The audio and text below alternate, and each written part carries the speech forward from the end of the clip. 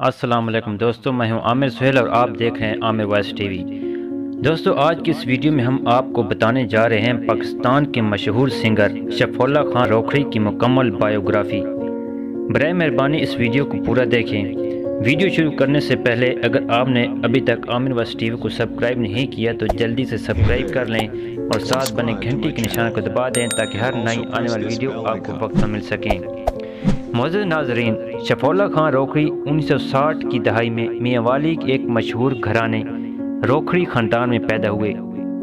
शफोला खान ने अपनी इब्तदाई तलीम मियाँ वाली में हासिल की और तलीम मुकम्मल करने के बाद मियाँ वाली पुलिस में बतौर कांस्टेबल भर्ती हुए। लेकिन शौक़ था मौसीकी का तो उन्होंने अपनी नामुकम्मल जॉब को छोड़कर गुलकारी सीखने की कोशिश की। 1980 की दहाई में रोखड़ी ख़ानदान में ही शादी की। शफौला खान रोखड़ी के दो बच्चे, एक बेटा और एक बेटी है। शफौला खान रोखड़ी ने अपनी गुलकारी नबे की दहाई में शुरू की और ख़ूबसूरत आवाज़ ने आहिस्ता आहिस्ता पूरे पाकिस्तान में अपने जलवे दिखाना शुरू कर दिए। इन गानों में काला जोड़ा और परदेसी ढोला बहुत मशहूर हुए। ख्याल रहे कि शफौला के बेटे जिशान रोखड़ी का भी मौसीकी की दुनिया में बड़ा नाम है। दिल की बीमारी में शफौला खान रोखड़ी काफ़ी अरसे से इस बीमारी का शिकार थे।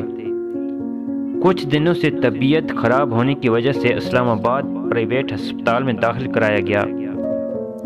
लेकिन डॉक्टरों की कोशिश के बावजूद शफौला खान रोखड़ी अपने आप को जांबर ना कर सके और 29 अगस्त 2020 को अपने खालिक से जा मिले। दुआ है कि अल्लाह पाक इनकी मफ़रत करे और जन्नत फरदोस में आला मकाम अता फरमाए आमीन।